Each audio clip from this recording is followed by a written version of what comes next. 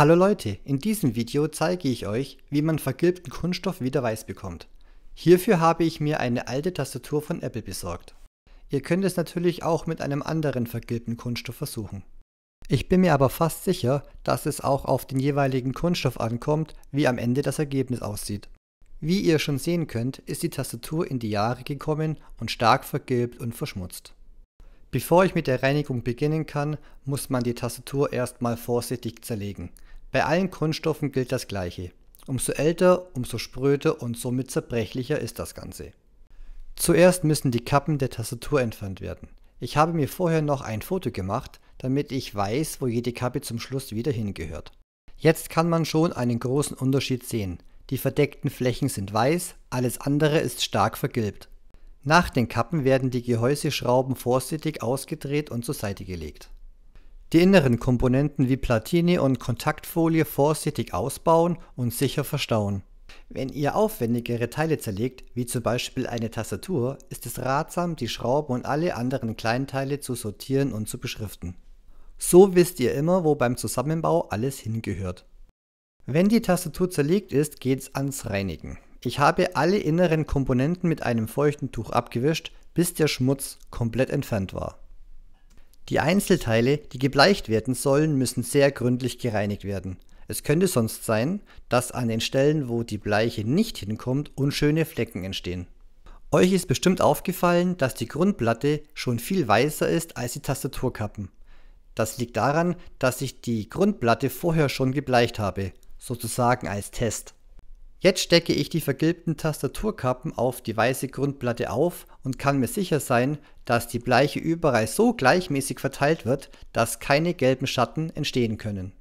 Bevor ich mit dem Bleichen beginne, ist es sehr wichtig, die richtigen Vorsichtsmaßnahmen zu ergreifen. Ich empfehle eine Schutzbrille und Einmalhandschuhe. Die Gebrauchsanweisung des Bleichmittels sollte man am besten auch befolgen. So kann am wenigsten passieren. So, nun ist es soweit. Ich rolle auf einer glatten Oberfläche Frischhaltefolie aus, damit das Bleichmittel später nicht überall hinlaufen kann. Dann die Tastatur drauflegen, Schutzbrille und Einmalhandschuhe anziehen und das Bleichmittel auf der ganzen Tastaturoberfläche auftragen. Danach habe ich mit einem Tuch das Bleichmittel gleichmäßig verteilt. Da das Bleichmittel eine leichte cremige Konsistenz aufweist, bleibt es genau da, wo es sein soll. Wenn alles soweit erledigt ist, wickle ich die komplette Tastatur mit Frischhaltefolie ein. Jetzt heißt es abwarten. Beim ersten Durchgang war die Tastatur 7 Stunden in der prallen Sonne gelegen. Danach habe ich das überschüssige Bleichmittel gründlich abgewaschen. Das Ergebnis war gut, aber nicht so, wie ich es mir vorgestellt habe. Also habe ich den Vorgang noch zweimal wiederholt. Nachdem alles gereinigt wurde, geht es wieder an den Zusammenbau der Tastatur. Jetzt ist es gut, wie am Anfang des Videos schon erklärt, dass ich die Schrauben und die Klammern sortiert und beschriftet habe, denn das Bleichen ging über eine Woche. Zuerst war wenig Sonne zur Verfügung und dann insgesamt vier Tage Bleichen. Wenn letztendlich alles wieder zusammengebaut wurde, kann sich das Ergebnis doch sehen lassen. Der Kunststoff hat wieder ein schönes Weiß. Von den vergilbten Flächen sieht man so gut wie gar nichts mehr. Es muss einem aber auch klar sein, dass man mit einem Bleichmittel den originalen Farbton eines alten Kunststoffteiles kaum mehr herstellen kann. Vor allem wenn 15 Jahre dazwischen liegen. In meinem Fall hat es aber gut geklappt. Ich hoffe, ich konnte euch etwas Neues zeigen.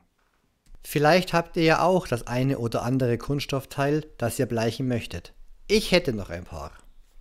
Danke fürs Zusehen und bis zum nächsten Video. Tschüss!